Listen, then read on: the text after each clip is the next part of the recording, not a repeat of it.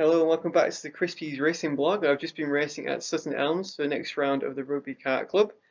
It was an exciting day despite me not really enjoying Sutton Elms as a track. Uh, glorious sunshine, a little bit cloudy every so often, but as long as there's no rain, I was pretty happy.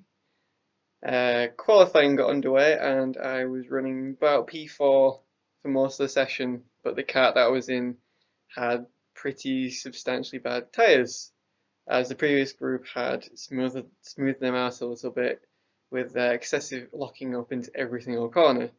So despite having a not so good car, I did line up P6 out of 12, but there was really not much I could do with the car, not that I felt I could anyway. So I spent most of the race playing catch up and just following the leader.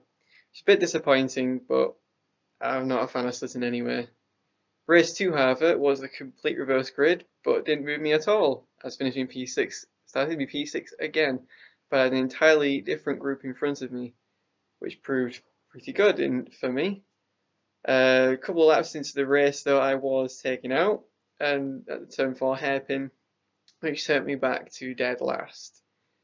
But, being my, and my new improved durability, I suppose I could say, I hacked away at it and managed to claw my way back up to fourth place overall, which was pretty good as I made some some nice ballsy moves, as my dad would uh, said to me, into some pretty good corners, the hairpin and the turn three long sweeping left. So not a bad day, despite hating the track. I think I found a little bit more respect for the track, for good way to put it. Uh, it was a bit of hard work, and yeah, I think I can take a lot away from that.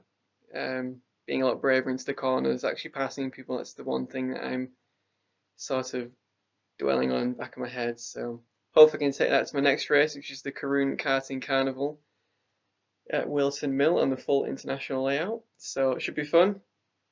And that's it from me. Thank you for watching.